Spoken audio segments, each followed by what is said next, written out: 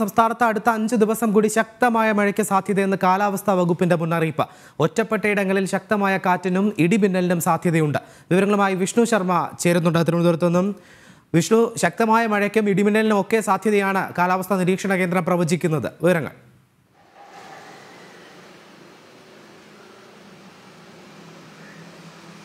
അടുത്ത അഞ്ച് ദിവസം സംസ്ഥാനത്ത് ശക്തമായ മഴയുണ്ടാകുമെന്നുള്ള മുന്നറിയിപ്പാണ് കാലാവസ്ഥാ നിരീക്ഷണ കേന്ദ്രം നൽകുന്നത്. ആന്ധ്രാപ്രദേശിലെ രായൽസീമ മേഖലയ്ക്ക് മേലെയുള്ള ചക്രവാത ചുഴിയുടെ പ്രഭാവത്തിലാണ് മഴ ശക്തമാകാൻ കാരണമാകുന്നതെന്നുള്ളതാണ് കാലാവസ്ഥാ വകുപ്പ് അറിയിച്ചിട്ടുള്ളത്. അടുത്ത അഞ്ചു ദിവസം കേരളത്തിന്റെ വിവിധ ഭാഗങ്ങളിൽ ഒറ്റപ്പെട്ട ഇടങ്ങളിൽ ശക്തമായ കാറ്റിനും ഇടിമിന്നലിനും സാധ്യതയുണ്ട് എന്ന മുന്നറിയിപ്പും കാലാവസ്ഥാ വകുപ്പ് നൽകിയിട്ടുണ്ട്. ഇതിന്റെ അടിസ്ഥാനത്തിൽ ആവശ്യമായ ജാഗ്രത പാലിക്കണമെന്നുള്ള ഒരു മുന്നറിയിപ്പാണ് കാലാവസ്ഥാ നിരീക്ഷണ കേന്ദ്രം നൽകുന്നത്. ശക്തമായ കാറ്റുള്ളതിനാൽ തന്നെ മത്സ്യത്തൊഴിലാളികൾ കടലിലേക്ക് പോകരുത് എന്നുള്ള ഒരു നിർദ്ദേശവും നൽകിയിട്ടുണ്ട്. മീൻപിടുത്ത തൊഴിലാളികൾ പൂർണമായും കടലിലേക്ക് പോകുന്നത് ഒഴിവാക്കണം എന്നുള്ള ഒരു നിർദ്ദേശവും നൽകിയിട്ടുണ്ട്. അതിനു പുറമെ കടൽക്ഷോഭം ശക്തമാകുന്നതിനുള്ള സാധ്യതയുള്ളതിനാൽ തീരദേശവാസികൾ ജാഗ്രത പാലിക്കണം എന്നുള്ള ഒരു മുന്നറിയിപ്പും നൽകിയിട്ടുണ്ട്. നമുക്കറിയാം കഴിഞ്ഞ ഒരാഴ്ച കാലമായി സംസ്ഥാനത്തെ വിവിധ ഭാഗങ്ങളിൽ ശക്തമായ മഴ തുടരുകയായിരുന്നു. ഇന്നും വിവിധ ഇടങ്ങളിൽ കാലാവസ്ഥാ വകുപ്പ് വിവിധ ജാഗ്രതാ നിർദ്ദേശങ്ങൾ പുറപ്പെടുവിക്കുകയും ചെയ്തിട്ടുണ്ട്. ഇന്ന് എട്ട് ജില്ലകളിൽ യെല്ലോ ജാഗ്രതാ നിർദ്ദേശം കാലാവസ്ഥാ നിരീക്ഷണ കേന്ദ്രം നൽകുകയും ചെയ്തിട്ടുണ്ട്. അതിനു പുറമെയാണ് ഇപ്പോൾ അടുത്ത അഞ്ച് ദിവസത്തേക്ക് ശക്തമായ മഴ ഉണ്ടാകുമെന്നുള്ള ഒരു മുന്നറിയിപ്പ് കാലാവസ്ഥാ കേന്ദ്രം നൽകിയിരിക്കുന്നത്. ഒറ്റപ്പെട്ട ഇടങ്ങളിൽ ഇടിമിന്നലോട് കൂടിയ മഴയുണ്ടാകാനുള്ള സാധ്യതയുണ്ട്. അതിനാൽ തന്നെ മലയോര മേഖലകളിലുള്ളവർ ജാഗ്രത പാലിക്കണമെന്നുള്ള ഒരു നിർദ്ദേശവും നൽകിയിട്ടുണ്ട്. മണ്ണിടിച്ചിന് ഉൾപ്പെടെ സാധ്യതയുള്ള മേഖലകളിൽ ഉള്ളവർ കൂടുതൽ ജാഗ്രത പാലിക്കണമെന്നുള്ള ഒരു നിർദ്ദേശവും ദുരന്ത നിവാരണ അതോറിറ്റിയും നൽകിയിട്ടുണ്ട്. നേരത്തെ തന്നെ മഴ ശക്തമാകുമെന്നുള്ള ഒരു മുന്നറിയിപ്പിനെ തുടർന്ന് സംസ്ഥാന സർക്കാർ തന്നെ പ്രത്യേക മുഖ്യമന്ത്രിയുടെ നേതൃത്വത്തിൽ പ്രത്യേക അവലോകന യോഗം വിളിക്കുകയും ഇത്തരത്തിൽ ജാഗ്രതാ നിർദ്ദേശങ്ങൾ അടക്കം നൽകുകയും ചെയ്ത സാഹചര്യമുണ്ടായിരുന്നു. അതിനുശേഷം രണ്ട് ദിവസത്തേക്ക് മഴ മാറി നിൽക്കുകയായിരുന്നു. ഇന്നിപ്പോൾ വീണ്ടും കാലാവസ്ഥാ നിരീക്ഷണ കേന്ദ്രം നൽകുന്ന മുന്നറിയിപ്പ് അനുസരിച്ച് അടുത്ത അഞ്ച് ദിവസത്തേക്ക് വിവിധ ഭാഗങ്ങളിൽ ശക്തമായ മഴ ഉണ്ടാകുമെന്ന് തന്നെയാണ് ശരി വിഷ്ണു അതോടൊപ്പം തന്നെ കൂട്ടിച്ചേർക്കാനുള്ള ഒരു കാര്യം. മഴ മഴയൊക്കെ തുടങ്ങിക്കഴിഞ്ഞാൽ സാധാരണയായി ഉണ്ടാകുന്ന പ്രശ്നങ്ങളാണ് ഈ പകർച്ചവ്യാധി പോലുള്ള പ്രശ്നങ്ങൾ. അത്തരത്തിലുള്ള പകർച്ചവ്യാധികൾ പടരാനുള്ള ഒരു സാധ്യതയും ഉണ്ട് എന്നാണ് ആരോഗ്യവകുപ്പ് നൽകുന്ന ഒരു മുന്നറിയിപ്പ്.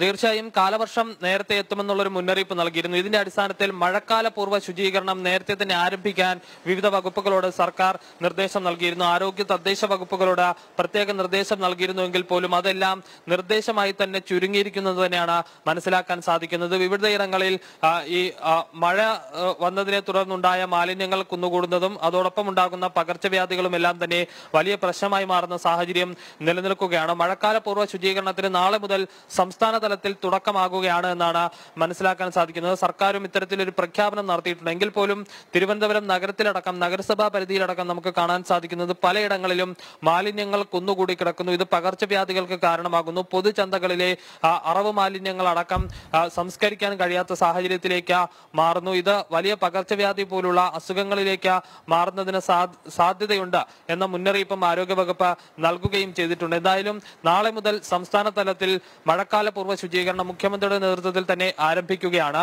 ഇതിനു പുറമെ അൻപത് അൻപത് വീടുകളും ഓഫീസുകളും അടങ്ങുന്ന വിവിധ ക്ലസ്റ്ററുകളായി തിരിഞ്ഞ ശുചീകരണ പ്രവർത്തനങ്ങൾ നടത്തണമെന്നുള്ളതാണ് സംസ്ഥാന തദ്ദേശ വകുപ്പ് പ്രത്യേക നിർദ്ദേശമായി നൽകുകയും ചെയ്തിരിക്കുന്നത്. എന്തായാലും ഇത്തരത്തിൽ പകർച്ചവ്യാധികളുടെ ഒരു മുന്നറിയിപ്പ് ഇപ്പോൾ തന്നെ ആരോഗ്യ വകുപ്പ് നൽകിയിട്ടുണ്ട്.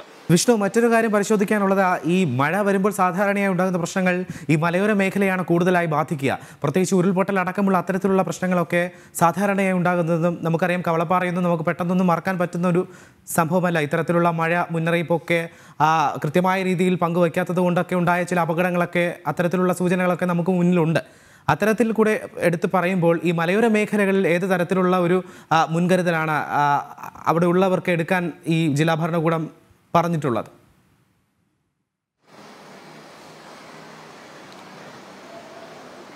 ശക്തമായ മഴയുണ്ടാകുമെന്നുള്ള ഒരു മുന്നറിയിപ്പ് തന്നെയാണ് ഇപ്പോൾ നൽകിയിരിക്കുന്നത്. ഇന്ന് എട്ട് ജില്ലകളിൽ യെല്ലോ ജാഗ്രതാ നിർദ്ദേശമാണ് പുറപ്പെടുവിച്ചിരിക്കുന്നത്. ഇതിനു പുറമെ ശക്തമായ മഴ അനുഭവപ്പെടുകയാണെങ്കിൽ മലയോര മേഖലകളിലുള്ളവർ രാത്രി യാത്ര കഴിവതും ഒഴിവാക്കണം എന്ന നിർദ്ദേശമാണ് ദുരന്ത നിവാരണ അതോറിറ്റി നൽകിയിട്ടുള്ളത്. മണ്ണിടിച്ചിലിനുൾപ്പെടെ സാധ്യതയുള്ള മേഖലകളിലുള്ളവർ പ്രത്യേക ജാഗ്രത പുലർത്തണം എന്നുള്ള ഒരു നിർദ്ദേശവും നൽകിയിട്ടുണ്ട്. അതോടൊപ്പം ഉരുൾപൊട്ടൽ സാധ്യതയുള്ള സ്ഥലങ്ങളിൽ അവിടങ്ങളിലുള്ളവരും പ്രത്യേകമായി ജാഗ്രത പാലിക്കണം. രാത്രികാലങ്ങളിലുള്ള യാത്ര പൂർണമായും ഒഴിവാക്കണം എന്നുള്ളൊരു നിർദ്ദേശം തന്നെയാണ് ദുരന്ത നിവാരണ അതോറിറ്റി നൽകിയിട്ടുള്ളത്. നേരത്തെ തന്നെ ഈ മഴ ശക്തമാകുമെന്ന മുന്നറിയിപ്പ് ലഭിച്ചതോടുകൂടി തന്നെ റവന്യൂ ഉദ്യോഗസ്ഥരോട് തയ്യാറായിരിക്കാൻ സർക്കാർ വ്യക്തമാക്കിയിരുന്നു. ഇത്തരത്തിൽ ഏതെങ്കിലും തരത്തിലുള്ള പ്രശ്നബാധിത മേഖലകൾ ഉണ്ടെങ്കിൽ അതായത് ഉരുൾപൊട്ടൽ സാധ്യതാ മേഖലകൾ ഉണ്ടെങ്കിൽ അവിടങ്ങളിലെല്ലാം തന്നെ പ്രത്യേക ജാഗ്രതാ നിർദ്ദേശം നൽകണമെന്നുള്ളത് റവന്യൂ വകുപ്പ് ഉദ്യോഗസ്ഥരോട് നേരത്തെ തന്നെ സർക്കാർ നിർദ്ദേശവും നൽകിയിരുന്നു. നേരത്തെ നന്ദു സൂചിപ്പിച്ചതുപോലെ തന്നെ കവളപ്പാറ ഉൾപ്പെടെയുള്ള പ്രദേശങ്ങളിൽ നേരത്തെ ഉണ്ടായത് കൃത്യമായ രീതിയിലുള്ള മുന്നറിയിപ്പ് ലഭിക്കാത്തത് കൊണ്ടാണ്